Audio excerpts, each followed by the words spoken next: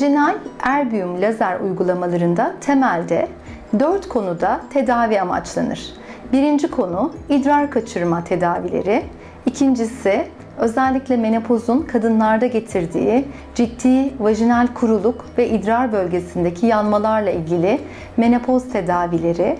Ee, üçüncüsü kadınların ciddi olarak sarkmalarından kaynaklanan, pelvik taban çökmelerinden kaynaklanan prolapsus dediğimiz rahimin bacakların arasından dışarıya kadar uzandığı durumlarda, cerrahiye uygun olmayan kadınlarda veya cerrahi istemeyen kadınlarda uygulanan prolapsus prolaplase tedavisi.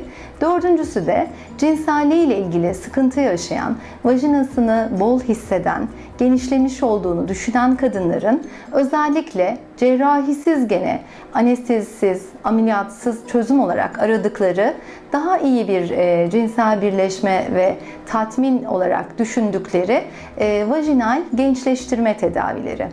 Bu dört ana başlık aslında bizim için kadın sağlığında vajinal sağlık demektir. Vajinal sağlık genellikle kadın doğumcuların e, yoğun iş tempoları ve doğumlar, diğer cerrahi ameliyatlar nedeniyle e, es geçmek zorunda kaldıkları ya da çok göz önüne alamadıkları kısmen lüks bir konu haline gelmiştir. Müzik